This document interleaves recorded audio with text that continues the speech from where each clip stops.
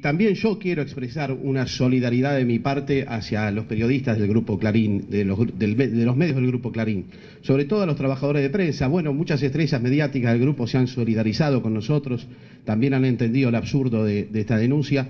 pero muchos trabajadores de prensa que día a día sufren trabajar en los medios del Grupo Clarín, que no se le cumple con el convenio colectivo de trabajo, que tienen tantas dificultades y que tampoco pueden manifestar su solidaridad a esta hora con nosotros, muchos de ellos son amigos, compañeros de la universidad y demás, porque saben que se les puede complicar la vida diaria ahí en el grupo. Así que yo también quiero manifestar mi solidaridad con ellos. Me parece sí que esta primera reacción de estas aclaraciones públicas en las entrevistas que ha hecho por distintos medios Warman Joffre y este comunicado de parte de los abogados ponen de manifiesto la torpeza con la que se han expresado y que incluso le genera fisuras internas con la misma materia prima con la que ellos trabajan, porque eh, las figuras de esos grupos, eh, algunas de ellas, han salido a criticar justamente la intimidación manifiesta con lo que han tratado de cercenar la opinión,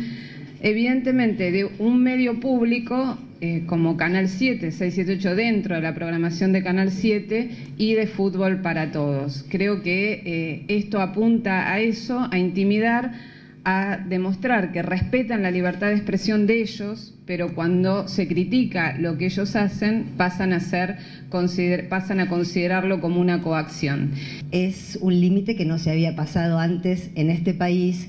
yo decía que esperaba anoche realmente que hubiera una reacción eh, del, colectivo periodístico dentro del cual cabe gente con la que no tenemos absolutamente nada que ver y con la que no estamos en absoluto de acuerdo,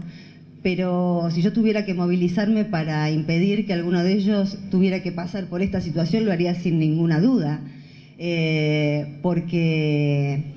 tratamos de jugar limpio y la ley que estamos defendiendo, la aplicación de la ley de medios, se trata para nosotros también de jugar limpio y de que los trabajadores de prensa podamos elegir entre muchos dueños de medios. Me parece que los que querían usar el Código Penal como garrote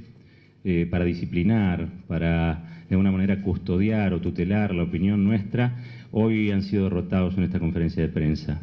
Eh, por supuesto, esto tiene y lo sigue teniendo una complicación que es de tipo judicial y bueno, confiamos ahí en los compañeros del CED que sabrán llevar las cosas a, buen término. Eh, a muchos le parecerá inaudito esto de que por opinar distinto a Héctor Mañeto uno tenga que enfrentar consecuencias penales. Y me parece que está muy bien que esto se vea como inaudito, porque estaríamos retrocediendo como sociedad en cuatro patas después de 29 años de democracia si dejáramos que esto sucediera. Así que yo quiero agradecer esta enorme muestra de solidaridad colectiva. No me quiero olvidar no solamente de la Comisión Gremial Interna de Tiempo Argentino, que se ha solidarizado, muchas gracias a ellos, a los compañeros fundadores de un nuevo diario, muchas gracias también a la Comisión Gremial Interna de TELAM, que hace poco renovó autoridades y que se ha solidarizado, por supuesto, conmovedor el gesto de los compañeros de TN y Canal 13, y por supuesto también quiero reconocer a FOPEA, que es el Foro del Periodismo Argentino, que se ha pronunciado en contra de esta denuncia penal de los abogados de Héctor Mañeto y el grupo Clarín, Sociedad Anónima.